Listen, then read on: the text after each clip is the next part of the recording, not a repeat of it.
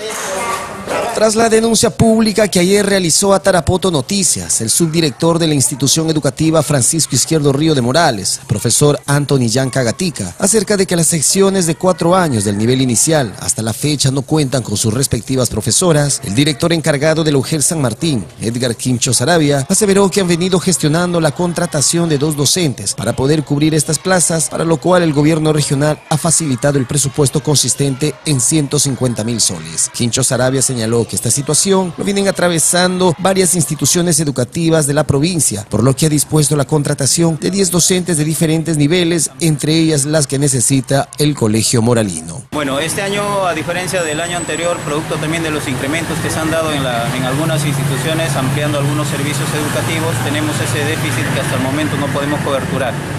Eh, con las plazas previstas hemos logrado coberturar también las plazas, pero adicionalmente a eso ya también hemos tenido una inyección económica del gobierno regional, un promedio de 150 mil soles que también ya se han ubicado en plazas pero entre ayer y hoy estamos haciendo las coordinaciones en la UGEL y, también hemos tomado la, decisión de que a partir del día lunes esos docentes deben estar en la institución educativa, un esfuerzo económico que está haciendo no solamente en el caso del PIR, también tenemos en Cacatache, en la 292, estamos habilitando 10 plazas de contrato para el día lunes para coberturar esos espacios. Básicamente eh, como prioridad uno desde el punto de vista de análisis sigue siendo el docente en el aula, no más allá del administrativo, del auxiliar por el momento. El funcionario del UGEL indicó que estas plazas son eventuales con presupuesto modificado del UGEL, con el que se espera coberturar la demanda de profesores en una primera etapa, aseverando que aún quedan muchas necesidades por suplir. Son plazas eventuales, no este, plazas, este, digamos, recurso económico que estamos afectando al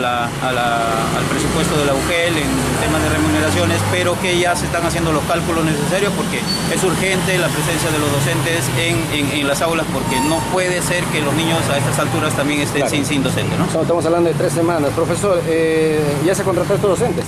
Sí, ya casi tenemos ya coberturado con estas 10 plazas del día lunes. Pensamos coberturar por lo menos la primera etapa que corresponde a los docentes en aula. Tenemos muchas más necesidades, definitivamente que las hay, el tema de, personal administrativo, auxiliares de educación, pero que esto sí todavía va a seguir esperando, ¿no? A la disponibilidad presupuestal. En cuanto a los docentes excedentes que existen en algunas instituciones educativas, Quincho Sarabia señaló que esto obedece al proceso de racionalización de profesores que se aplicará durante los tres primeros meses del año lectivo tema de la excedencia y el que surge a raíz del proceso de racionalización que van a implementarse este marzo, abril y mayo, todavía de repente en junio nos están, este, estamos teniendo los datos exactos de cuántos excedentes existen para seguir coberturando, porque no son las únicas, tenemos más demanda, ¿no? pero como le, repito, el proceso de racionalización cuyo producto es las excedencias está caminando también paralelamente y esperemos tener ya los resultados muy pronto. Ahora, esta contratación, este profesor, a través de presupuesto